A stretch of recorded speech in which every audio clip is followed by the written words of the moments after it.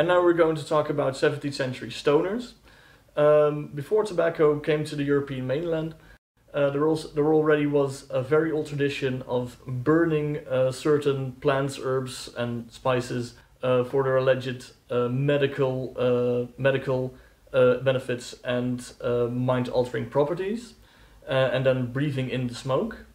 Shortly after tobacco was introduced, people started to uh, add things to it to uh, enhance the flavor and add to its effects. Hallucinogenic ingredients like hemlock, uh, deadly nightshade, and thorn apple uh, would be added to tobacco and even to beer for their hallucinogenic properties.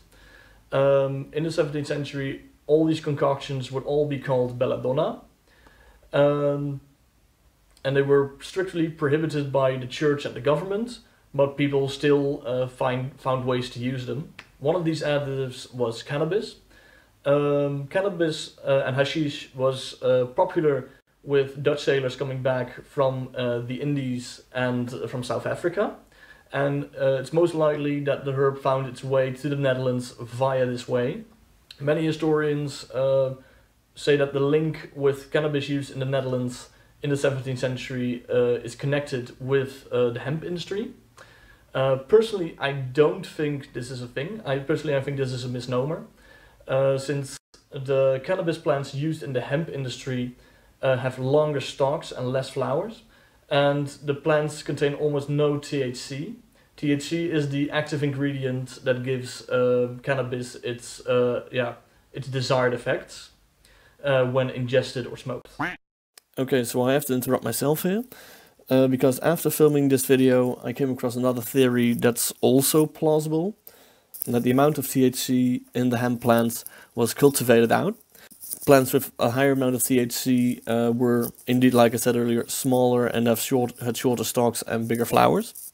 And within the hemp industry, uh, these plants were deemed to have less quality because they produced uh, less material to work with, and that's why they were often just discarded and thrown away but I don't have actual sources or proof uh, to substantiate this claim. Um, if we don't have sources or proof for the things we say, uh, we, we mention it.